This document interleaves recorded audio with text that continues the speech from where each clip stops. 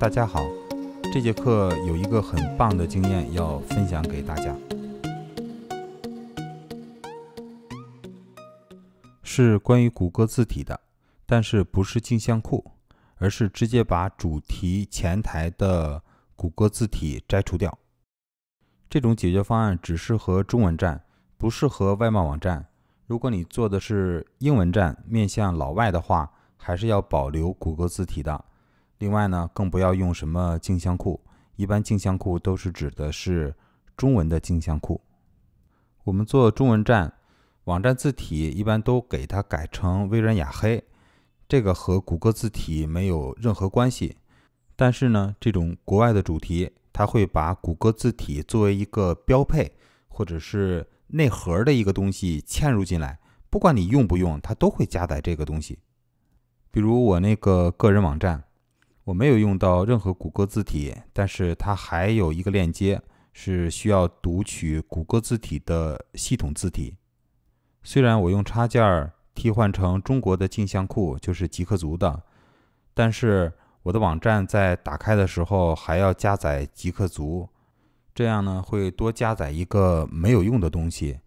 像极客族这种公共的镜像库，它的速度并不是很稳定的。另外，它跟不同的网络的兼容性也不一样。比如，我们在打开这个网站的时候，有时候感觉特别快，有的时候感觉特别慢。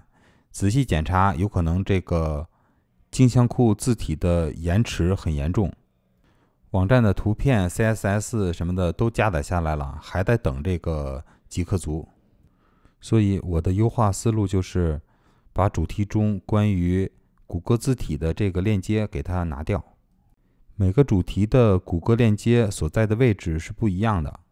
有一个比较简单的笨方法，就是选中这个主题的文件夹，然后把对应的谷歌关键字放进来。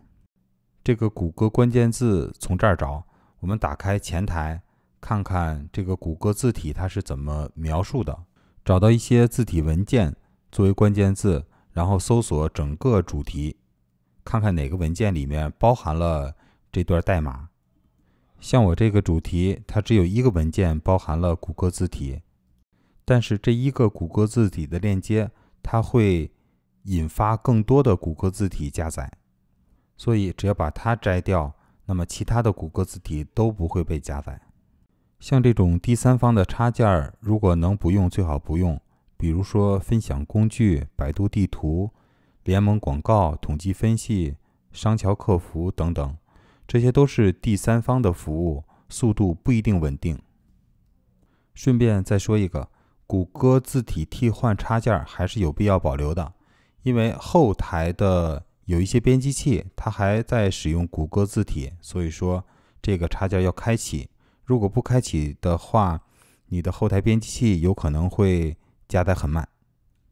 好了，这节课就到这儿，以后我要有更新的加速方法再和大家分享。拜拜。